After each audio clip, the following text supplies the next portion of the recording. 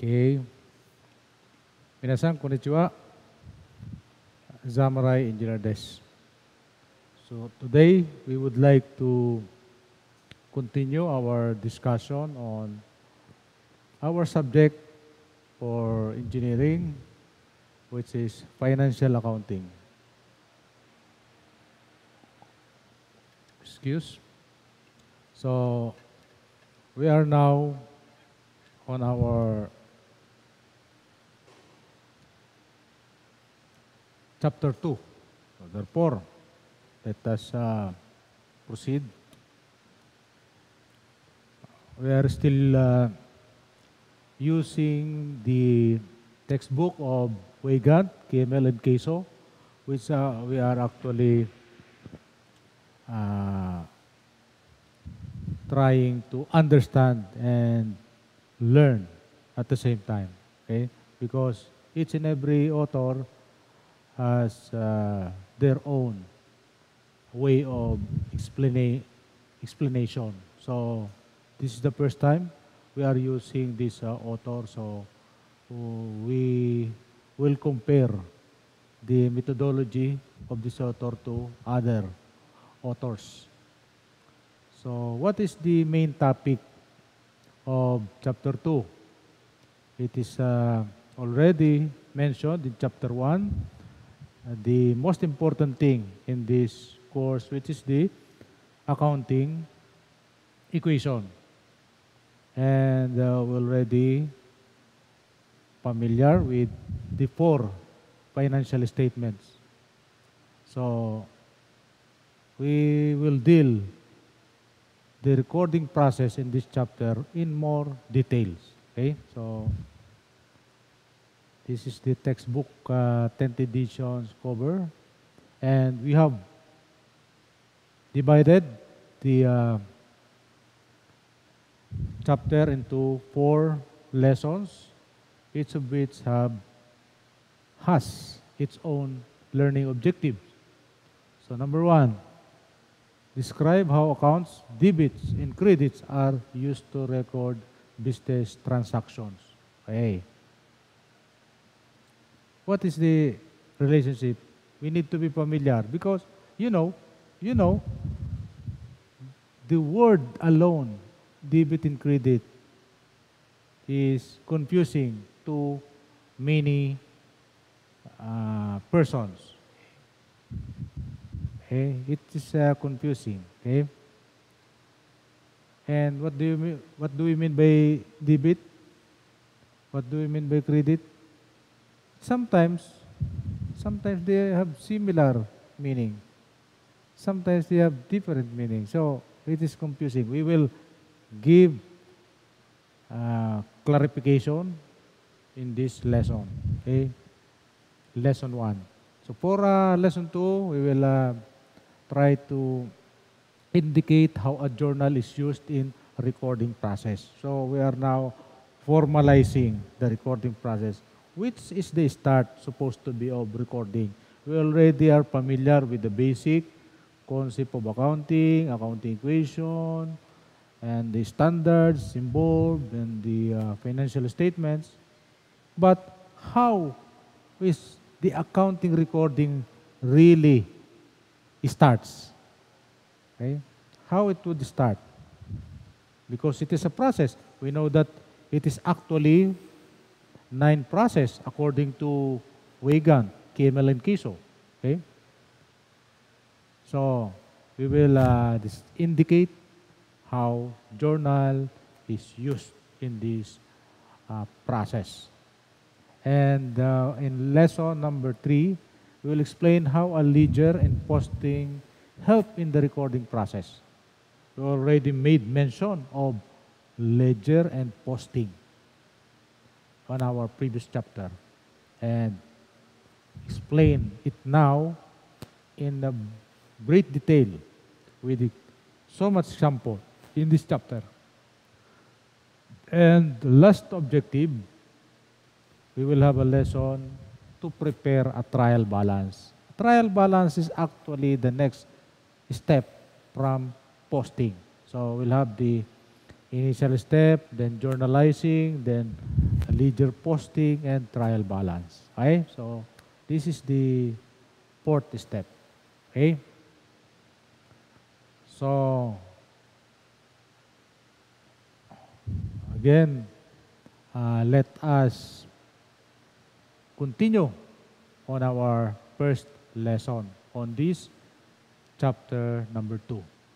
So again, first lesson is how accounts, that is debit and credits, are used to record business transaction. So there are three main uh, words of technical use here. Accounts, debit, and credit. And actually, these are the main words of importance when we are going to record a transaction in accounting perspective. Okay? So, debits and credits. Record of increases and decreases in specific assets. Okay? Okay. Liabilities, stockholders' equity, revenue, or expense item. So those are the things. So we already learned that there are some other things more uh, detailed than assets. There are some uh, account names more detailed than assets. But we are just uh, looking at the general uh, perspective right now. We will uh, go into it later. Okay? What is debit? It is uh, written left, left side. Okay? Credit, right side. So left and right. So that is the only difference in recording.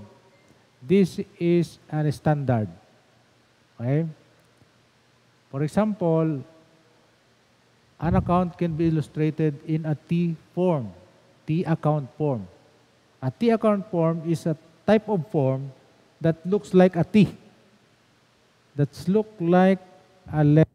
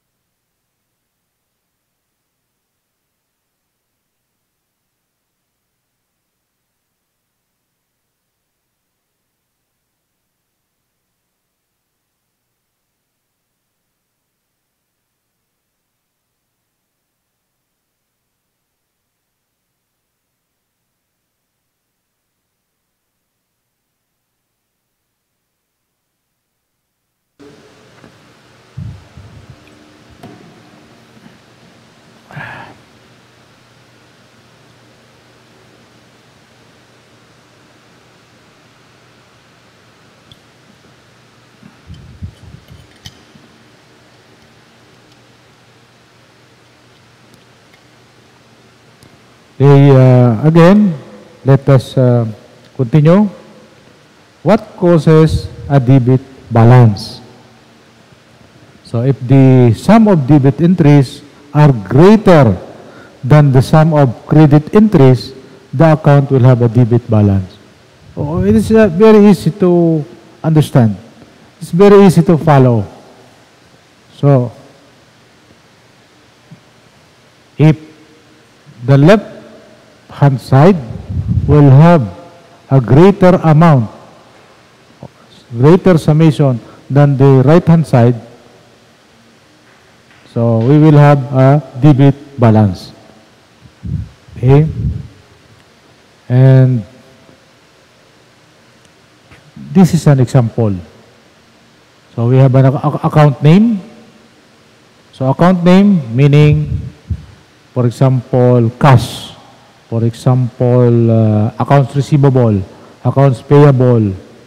Those are account names. So, account names at the top of the T accounts and we have debit on the right side again credit on the right side and debit on the left side okay so you will notice if you sum up the left side it is greater than the total of the right side Okay, so the left side is greater than the right side, therefore, we have a debit balance. So the balance must remain on the left side. Okay, on the left side. So what causes the credit balance? So you will uh, think of it that it uh, must be the opposite. And if you think like that, then you are correct. Because we will have a credit balance if the entries, the summation on the right side is greater than the summation on the left side. So we will definitely have a credit balance. So like that, no? We have 11,000 on the right side, 10,000 on the left side. Therefore, we have a balance of 11 minus 10, 1,000. Okay?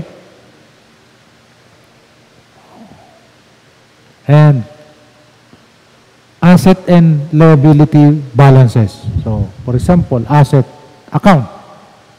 Asset account. We are looking at asset account. At the top of the picture, at the top picture, we have asset account. Debit balance is increasing. Blue color. Credit balance decreasing. Red color. If the left side is greater than the right side, we have a normal balance on the debit side. Okay? Assets, debit should exceed credit. So that's what we had already explained. Okay? And for liabilities, credit should exceed debit. Okay. So, just like what? Or example on the picture at the bottom. Okay, bottom picture, we have a greater amount on the right side and lesser amount on the left side. Therefore, we have a balance on the right side. So, credit should exceed debit. If we have credit uh, exceeding debit, we have liability. So, that is the the uh, way we can determine what is asset and liabilities. right? So, we have liability. Normal is on the increase side. Which one of them increases, that is the normal side. So, for assets, the normal side is debit. For liabilities, the normal side is credit. Okay? Clear. It's very clear. Just think of it in one explanation. Don't confuse yourself by uh, listening to all of the explanation. Just one explanation is uh, enough. If you listen to all of the different explanation, you will get confused by this simple uh, principle. Very simple principle. You will get confused due to different and so many different types of explanation. This one type of explanation, let us adapt. Let us adapt this one type of explanation so that we can minimize our errors, mistakes, and we will not get confused. Okay? So assets, when debit is uh, having a normal balance, liabilities when credit having normal balance, and go to the next. Debits and credits when we are talking of stockholders' equity. Okay. How about those stockholders' equity? Those are what? For example, common balance, common stock, retained earnings, dividends. Okay. We have uh, revenues, we have expenses. Okay. So, for example, owners' investments and revenues. Okay. Specific investment and revenues. Okay. Increase stockholders' equity. And that is credit. Okay. If we increase stockholders' equity, that is credit. So, increase, going up. Take note. Red is going up. So, credit is going up. Meaning it increase. It increase. Credit is going up. Meaning the stockholders' equity increased. Inside the, inside the company, we are talking inside the company, huh? Okay? The stockholders' equity value or amount inside the company increased. Okay? Take note. Okay, you will get confused if you think of the personal money, personal richness of the individual stockholders. That is not uh, related inside the activities of the company. We are only talking here of those activities, transactions that uh, relates to the activities of the company. Okay? So, if the stockholders again increase their equity, that is supposed to be credited to their account. Credited to their account. The red one is going up, increasing. Okay? However, if we are talking of dividends and expenses, decrease in stockholders' equity, we will what? Debit. Okay? Debit. Okay? Meaning, uh, dividends, so, uh, blue, colors blue, dividends. So, there is no, there is no example of expenses here, but expenses looks like the dividends here. Okay? Okay? So, you'll notice there are three accounts at the bottom picture. Common stock, retained earnings, and dividends. Dividends and expenses looks the same. They have what? Blue color increasing as their normal uh, balance. Okay? They have normal balance on the left side. While investment and revenues have normal balance on the right side. Okay? Okay. Let's go further.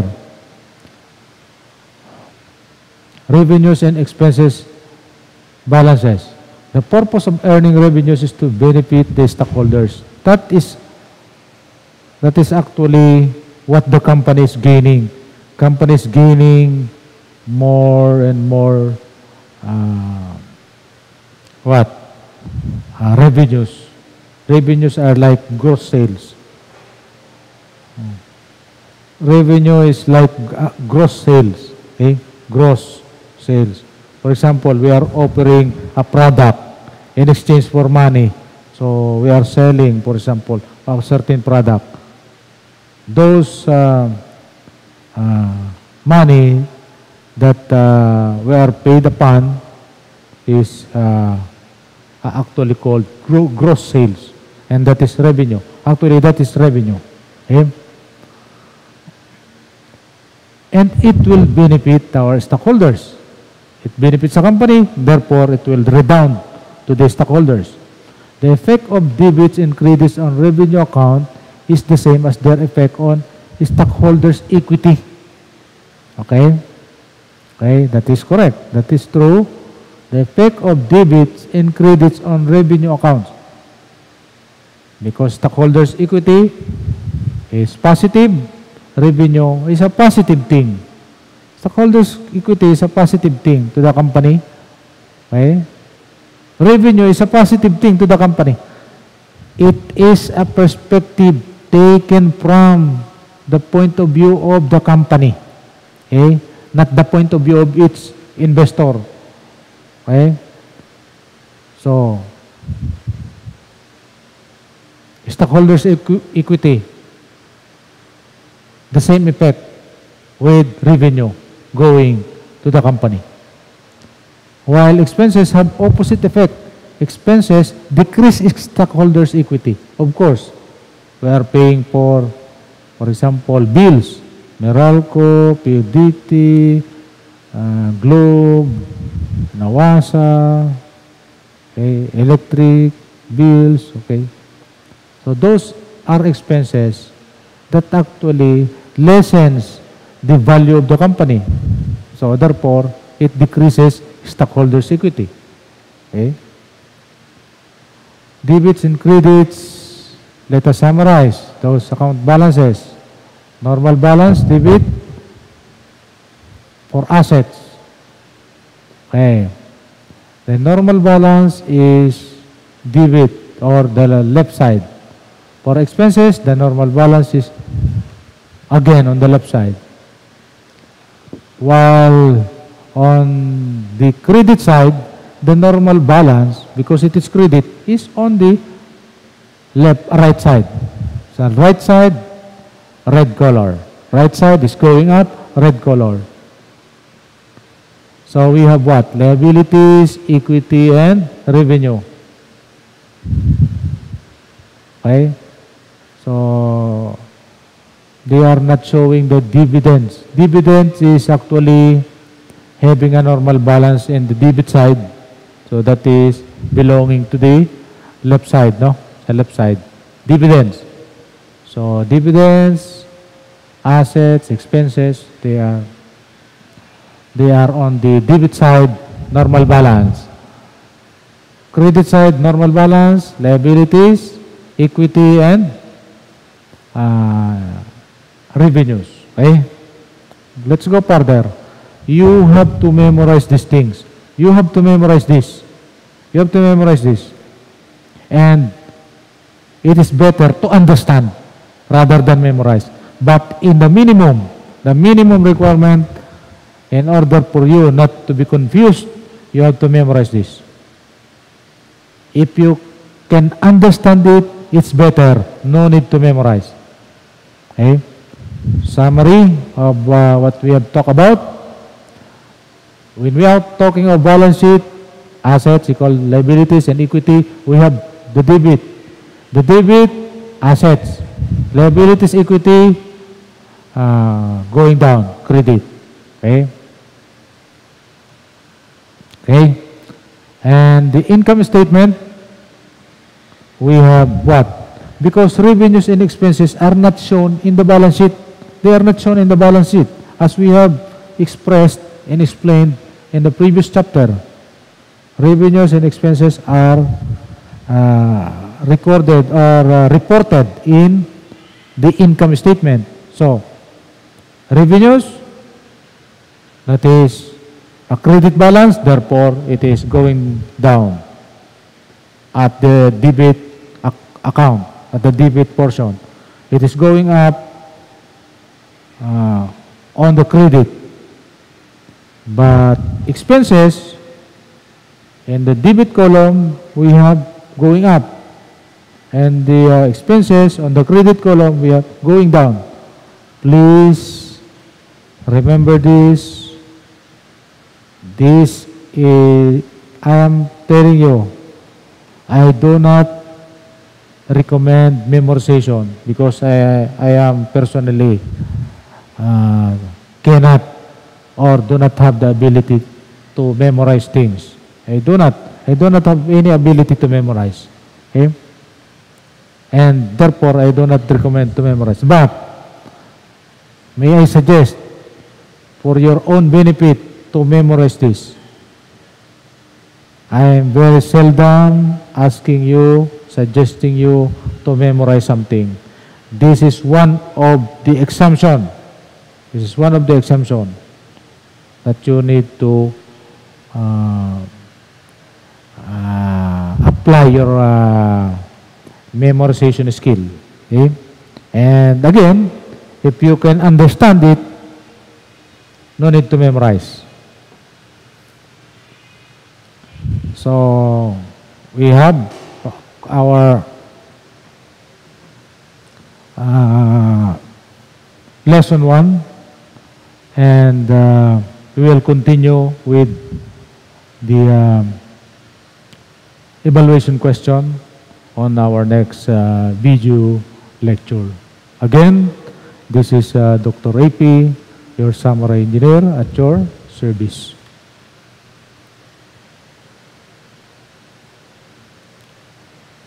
Thank you.